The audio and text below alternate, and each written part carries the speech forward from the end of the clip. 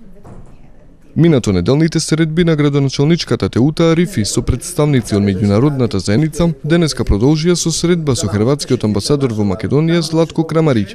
Арифи го информираше за плановите за модернизација на општинската администрација и зголемување на транспарентноста и отчетноста во работата на општинските власти. Лепосланство Република Хрватска во Републици Македонија имало е Амбасадата на Република Хрватска во Македонија имаше одлични односи со локалната власт во Тетово и нема причина тие добри односи да не ги продолжиме сега кога дојде до промена на раководството во општината по локалните избори.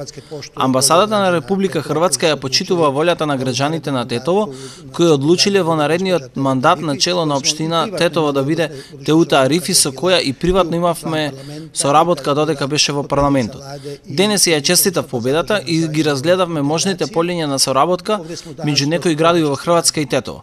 Природните убавини и Попова шапка се многу атрактивни и мислам дека во Хрватска ќе најдеме доволно градови, но и компании кои се заинтересирани за развој и нова соработка. Са општином и градом Тетовом.